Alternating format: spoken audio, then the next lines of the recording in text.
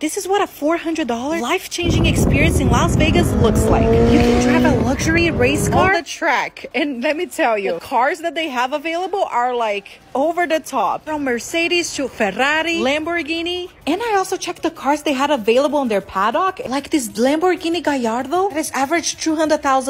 In the paddock, most of the cars are unlocked. So I got to sit there and see this beauty from the inside. Or look at this Porsche right here. I couldn't find the price of this one. If you know how much this cost, please tell me in the comments. So beautiful inside. That was parked just right next door to this Lamborghini, which I also don't know the price, so please let me know in the comments. I think my favorite one is the Lamborghini because it has so many cool buttons like this one here that I think is to start the car. And it's also super safe. There's an instructor with you and he will tell you exactly what you need to do to achieve your best performance. I felt super safe, so I got the Ferrari and I was able to hit 193 kilometers per hour. It was so cool. Here are some of the prices of the laps and everything, so feel free to to pause. Would you do that? Isn't that incredible?